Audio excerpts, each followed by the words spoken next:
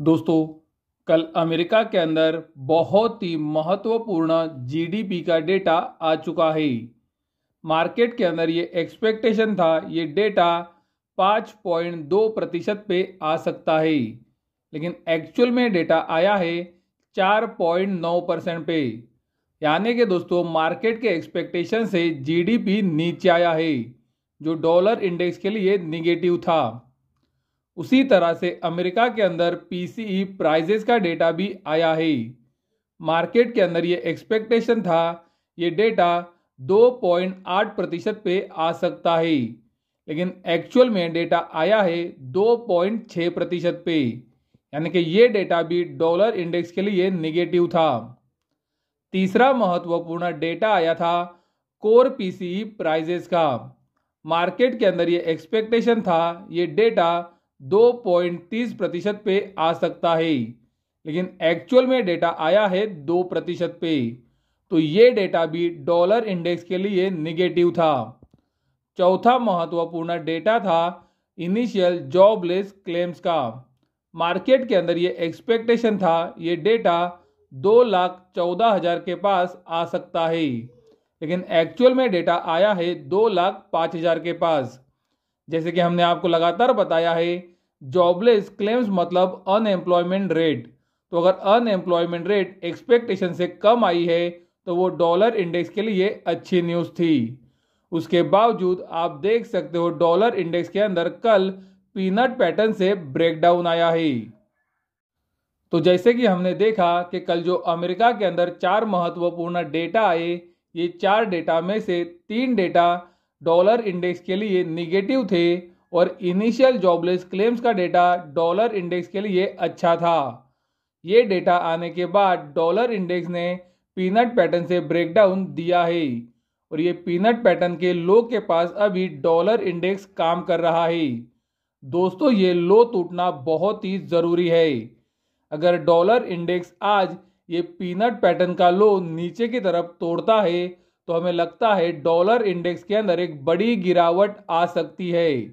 लेकिन जैसे कि हमने आपको बताया है कि ये लो के नीचे क्लोजिंग होना बहुत ही ज़रूरी है।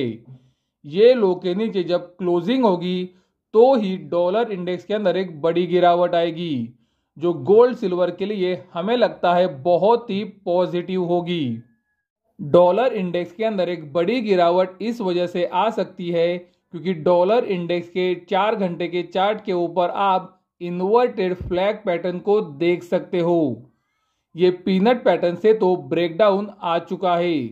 तो अगर ये पीनट पैटर्न का लो, डॉलर इंडेक्स आज नीचे की तरफ़ तोड़ता है और उसके नीचे क्लोजिंग देता है तो ये फ्लैग पैटर्न का टारगेट आ रहा है निन्यानवे पॉइंट साठ डॉलर के पास। यानी कि दोस्तों, एक बड़ी गिरावट यहाँ से डॉलर इंडेक्स में आ सकती है। लेकिन ध्यान रहे, उसके लिए ये पीनट पैटर्न का जो लो है, वो टूटना बहुत ही ज़रूरी है। तो अगर ये पीनट पैटर्न का लो टूटा तो डॉलर इंडेक्स के अंदर एक बड़ी गिरावट आएगी, जो गोल्ड सिल्वर के लिए पॉजिटिव होगी।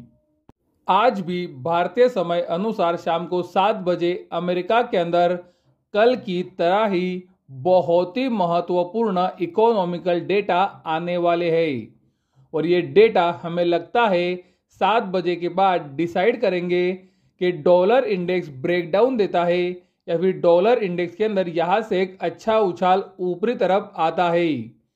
पहला डेटा जो भारतीय समय अनुसार शाम को सात बजे अमेरिका के अंदर आने वाला है, वो है यूएस ड्यूरेबल गुड्स ऑर्डर्स का। दूसरा महत्वपूर्ण डेटा आएगा US core durable goods orders का।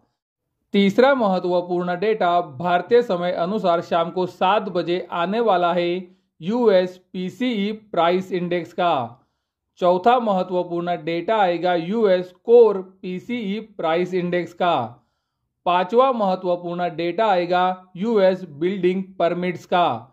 और भारतीय समय अनुसार रात को साढ़े आठ बजे भी एक महत्वपूर्ण डेटा आएगा और ये डेटा है यूएस न्यू होम सेल्स का। दोस्तों, ये बहुत ही महत्वपूर्ण डेटा है और हमें लगता है ये डेटा आने के बाद डॉलर इंडेक्स उसका अगला मूव डिसाइड कर सकता है। और आज शुक्रवार भी है तो आज की क्लोजिंग डॉलर इंडेक्स के लिए बहुत ही महत्वपूर्ण है। तो अगर आज की क्लोजिंग डॉलर इंडेक्स ये पीनट पैटर्न के लो के नीचे देता है तो डेली चार्ट के ऊपर भी ब्रेकडाउन कंफर्म होगा और वीकली चार्ट के ऊपर भी ब्रेकडाउन कंफर्म हो जाएगा। और उस वजह से हमें लगता है अगले हफ़्ते जब क्रिसमस है तो गोल्ड सिल्वर के अंदर ये ब्रेकडाउन के बाद एक बड़ी तेज़ी बन सकती है। लेकिन दोस्तों, याद रहे, आज की क्लोजिंग ये पीनट पैटर्न के लो के नीचे आना बहुत ही ज़रूरी है। ये सभी महत्वपूर्ण इकोनॉमिकल डेटा आने के बाद अगर डॉलर इंडेक्स ये लो से तेज़ी दिखाता है और उसके ऊपर ही जाकर क्लोज होता है तो हमें लगता है क्रिसमस के हफ़्ते में गोल्ड सिल्वर में गिरावट भी आ सकती है। तो अगले हफ़्ते गोल्ड सिल्वर के अंदर गिरावट आती है कि तेज़ी बनती है, ये आज के डॉलर इंडेक्स की क्लोजिंग के ऊपर डिपेंड है। तो आज के डेटा का इंतज़ार डेफिनेटली करें। तो अगले हफ़्ते गोल्ड सिल्वर के अंदर गिरावट आएगी या फिर तेज़ी बनेगी, उसके लिए आपको क्या देखना है? ये हमने आपको ये वीडियो के अंदर बता दिया है। तो आपको ये डेटा के ऊपर ध्यान रखना चाहिए। हमने हमारे पिछले शनिवार की वीडियो में हमारे मेंबर्स के लिए ये क्लियरली बताया था कि गोल्ड के लिए अमेरिका का डेटा पॉजिटिव है। तो अगले हफ़्ते गोल्ड के अंदर पॉजिटिव नज़रिया ही रखे। आप देख सकते हो, ये हफ़्ते अब तक के पाँच दिन गोल्ड के अंदर एक छोटी तेज़ी बनी है। उसी तरह से हमने सिल्वर के बारे में भी हमारे मेंबर्स को ये क्लियरली बताया था कि सिल्वर का डेटा भी थोड़ा पॉजिटिव है। लेकिन पॉसिबल है कि एक छोटी गिरावट आ सकती है और उसके बाद तेज़ी बन सकती है। आप देख सकते हो, पहले ही दिन सोमवार को एक गिरावट आई थी, लेकिन उसके बाद से पिछले पाँच दिनों में एक अच्छी तेज़ी, यानी कि एक छोटी तेज़ी सिल्वर के अंदर रही है।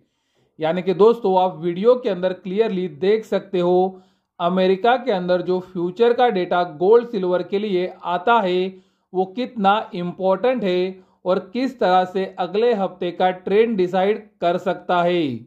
तो अगर किसी को ये अमेरिका के फ्यूचर का डेटा एनालिसिस चाहिए तो आप हमारे चैनल के मेंबर बन सकते हो। वीडियो के नीचे आप ज्वाइन बटन के ऊपर क्लिक कर सकते हो और हमारी मेंबरशिप को ले सकते हो। हर सैटरडे या फिर संडे को हमारा अमेरिका का फ्यूचर डेटा एनालिसिस आया करेगा, जो आपको अगले हफ़्ते के लिए डेफिनेटली मदद कर सकता है। अगर आप गोल्ड सिल्वर के अंदर रेगुलरली काम करते हो तो आपको एक बार तो हमारी मेंबरशिप को लेके देखना चाहिए। अगर आपको लगता है कि हमारा डेटा आपके लिए यूजफुल नहीं है तो आप अगले महीने अपनी मेंबरशिप को कैंसिल कर सकते हो। लेकिन हम बताएँगे कि एक बार तो मेंबरशिप लेके आप हमारा एनालिसिस और डेटा डेफिनेटली देखें। तो ये वीडियो आपको कैसा लगा हमें कमेंट द्वारा ज़रूर बताएँ। अगर वीडियो पसंद आता है तो वीडियो को ज़रूर लाइक करें, चैनल को सब्सक्राइब करें और वीडियो को अपने दोस्तों और पहचान वालों के साथ शेयर करना ना भूलें। ताकि ये जानकारी आपके साथ उनको भी पता चल सके। वीडियो देखने के लिए धन्यवाद। Thank you.